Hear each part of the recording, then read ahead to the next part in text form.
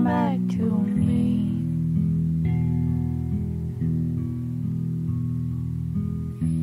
Wake up.